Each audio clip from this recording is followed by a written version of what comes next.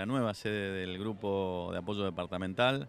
Es un grupo especial que tiene la Policía de la Provincia de Buenos Aires, que es convocado siempre por la jefatura de distrito acá de Tigre y que realmente lo que hace es reforzar eh, la seguridad, sobre todo en el lugar que estamos, un lugar en donde la plaza tenía distintos inconvenientes vinculados a, vandalismo, temas vinculados a drogas.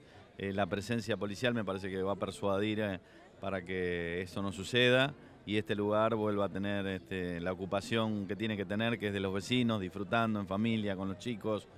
Eh, tenemos que tener juegos nuevos para este lugar también, para lograr que bueno, los espacios públicos se puedan disfrutar y aparte reforzar el sistema de seguridad de Tigre a través de la nueva sede. Son cerca de 25 personas que van a estar al servicio de toda la tarea que realiza la Jefatura Distrital de Tigre. Es parte integral de nuestro sistema de protección ciudadana, con los móviles del COD, con los botones de pánico, con, con la policía de la provincia de Buenos Aires del comando de patrullas. Es una piecita más que aporta a este gran sistema de protección ciudadana que tenemos en Tigre. estoy muy contento con esto, vamos a poder disfrutar la plaza, vamos a poder caminar de noche tranquilamente, vamos a poder caminar a la noche, vamos a poder andar bien.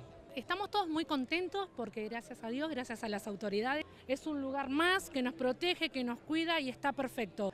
Y esta presencia le va a dar al barrio otra fisonomía, que esta plaza sea un lugar de encuentro, que el jardín también, que esté cuidado, que no sufra vandalismo.